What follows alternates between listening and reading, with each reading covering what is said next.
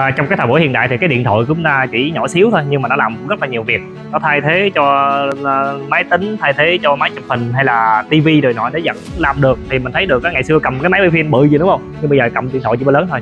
Thì mình thấy được á càng nhỏ nhưng mà cái hiệu suất càng cao thì bên thị sản gì có một cái sản phẩm đó là mình thấy được á là sản phẩm nhỏ thôi nhưng mà cái hiệu suất đó là phi tới 200 đó là cái bơm chìm à, bơm chìm khủng long lưu lượng lớn đó là phi 200 và đầy ống 200 luôn. Bên kia thì đã test rất là nhiều cái sản phẩm này.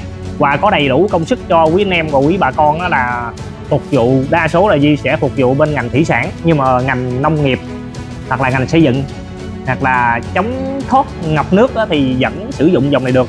Và một cái lợi thế rất là nhỏ gọn.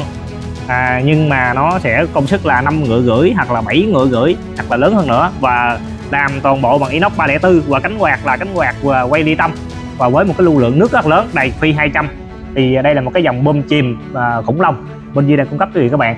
Và cái dòng này thì Di đang cũng cung cấp và cũng giống như là bán cho quý vị các bạn rất là nhiều. Và cái lợi thế mà chúng ta thấy được á đầu tiên là nó nhỏ gọn và cũng giống như làm bằng inox 304 toàn phần. Thì chúng ta cũng không có lo về nước mặn hay là nước thải à, hay là hóa chất gì đó thì chúng ta sử dụng được. Thì có cần chi tiết hơn những cái công suất nhỏ lớn như này nè thì uh, quý vị cứ điện cho Duy. Ok.